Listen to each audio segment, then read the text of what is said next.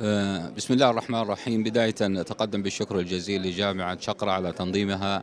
هذا المؤتمر المهم والحيوي مؤتمر دور الجامعات السعودية في تعزيز الهوية الوطنية في ضوء رؤية المملكة 2030 يأتي المؤتمر مع آه، إنجازات تحققها المملكة وتعزز من خلالها هوية وشخصية آه، الإنسان السعودي من خلال منجزات متعددة مختلفة. يأتي هذا المؤتمر لترسيخ القيم والمبادئ الإسلامية والوطنية لدى الشباب والنشء يأتي هذا المؤتمر ويحمل آه، في طياته عدد من الأوراق العلمية والشخصيات المهمة في المجتمع لتقديم ما آه، يكرس ويعزز هوية مجتمعنا الوطنية التي قامت على آه، شريعة الله وبتأسيس من الملك عبد العزيز ومن بعد أبنائه الكرام البررة.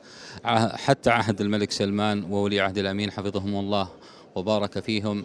نتمنى للجميع التوفيق والسداد وأن يكون هذا المؤتمر انطلاقة لأنشطة وبرامج آه، آه، تعزز وتكرس الهوية الوطنية دوما وباستمرار.